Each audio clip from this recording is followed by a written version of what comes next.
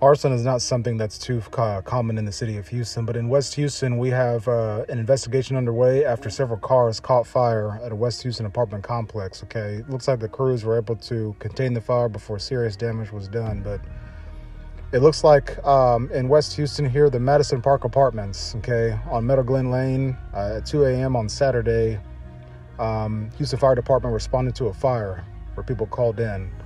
So there was a call for help and um, there's an ongoing investigation. Now, this happened on uh, 9851 Meadow Glen at Elmside, where professionals were performing performing extinguishing efforts. Everybody came out okay, no injuries, no fatalities. But I'll tell you this, ladies and gentlemen, on the 5000 block of West Alabama, we have Midwest officers who arrived on the shooting scene. We had an adult male uh, who was accidentally shot.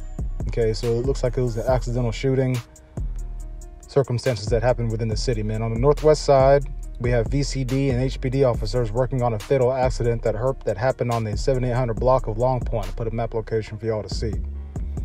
Recently, guys, we also um, had a man who was just like carjacked in front of his home. Um, there's a lot of news on that, so I didn't really put much of it here. And of course, the rodeo um, is happening within the city, man. So, you know, making sure that you have your weapons locked away. Now, on the 9400 block of Cullen Boulevard, in the southeast side of the city, we have another shooting scene where we have an adult female and a male that were transported with non critical injuries uh, to the hospital. Everybody's going to remain okay.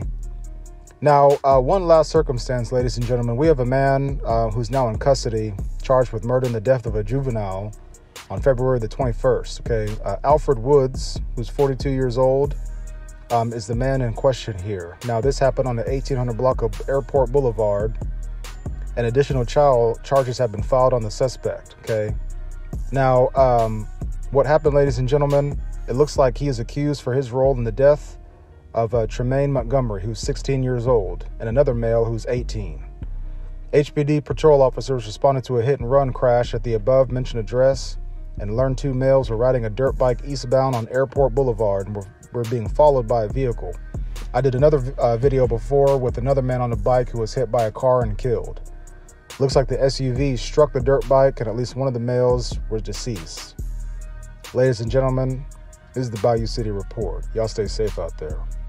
I'm out.